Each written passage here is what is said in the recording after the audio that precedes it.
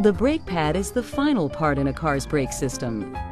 One of the most important tasks of the brake system is to work together with the other safety systems in the car.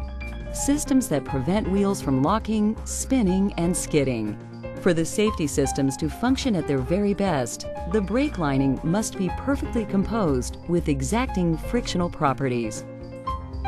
To meet the relevant requirements, Volvo tests the properties of the various components in conjunction with the other parts in the system.